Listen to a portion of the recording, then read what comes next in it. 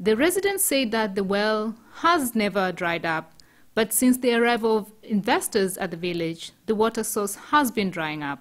Ina maana kero yetu kubwa ni jinsi gani viongozi wetu kuanzia ngazi Our leaders from ward level, village level are leading us astray.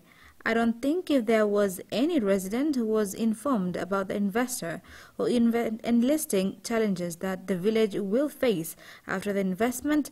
As a result, the village well is dry due to investors' constructions. kwa sababu ya huu uchimbaji, na sisi tunajua moja kwa moja ni kwamba kinachosababisha maji kupungua hapo na kuisha kabisa ni kwa sababu ya hao wawekezaji.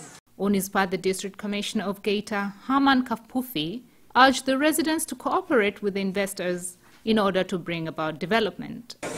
Nimefurahi kwa sababu ninyi mnajua kwamba ili I am delighted to know that you are aware of your rights to have leadership that is tentative to your demands. These residents accessed water from their natural wells, but when they began their activities in February last year, the well dried. lakini walipo anza shuguli mwezi wa pili tayari maji yale yakawa mekauka. Hivyo basi, mapendekezo yangu ni kwamba watuchimbie visima ambavyo tutakuta tunatumia vya temporary ili maji yapatikane.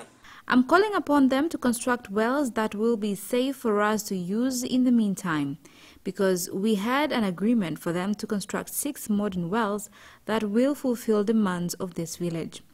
Although they have imposed more cost to us, they should not expect us to bear the responsibility of fixing caulks on the modern wells that will be constructed by them.